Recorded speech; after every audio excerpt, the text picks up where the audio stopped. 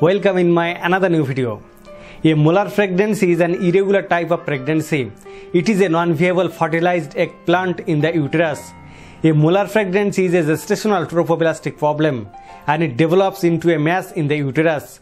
This problem is also known as hydatidiform mole.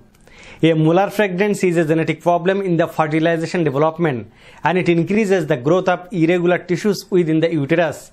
Molar pregnancy really involves a growing embryo and growth of this object is fast than the normal fetal development. Today in this video, I will discuss a total idea about molar pregnancy. If you are new in the channel, you can subscribe to the channel because it can be a great collection for you.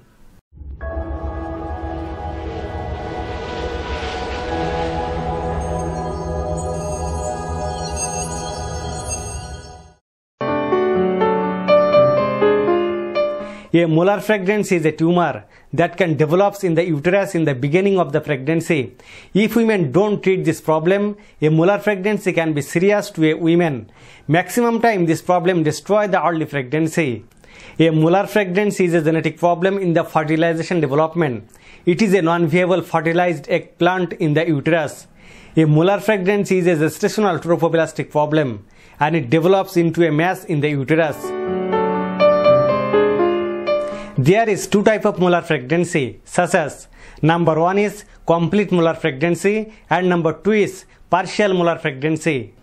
Complete molar pregnancy has only placental parts and the sperm fertilizes a blank egg because the egg is empty and there is no baby formed. Partial mole happens when the mass include both the embryo and irregular cells but there have severe birth defect the fetus cannot survive and it happens miscarriage early. A molar fragrance happens by an irregular fertilized egg. Human cells generally include 23 pairs of chromosomes. A single chromosome in every pair come from the father and other come from the mother. If an empty egg is fertilized by one or two sperm, it makes a molar pregnancy. If the mother's chromosomes stay but the father provides two sets of chromosomes, it can make a partial molar pregnancy. The most frequently this problem happens when two sperm fertilizes an egg. There are also some risk factors for this pregnant problem, such as a molar pregnancy is mainly common in women who older than age 35 or younger than age 20. If a woman has one molar pregnancy before, she has again a great risk to get this problem again. At the first time, a molar pregnancy can seem like a normal pregnancy, but most molar pregnancies make specific symptoms, such as pregnant women can get dark brown to bright red bleeding in the first trimester. They can experience serious nausea and vomiting.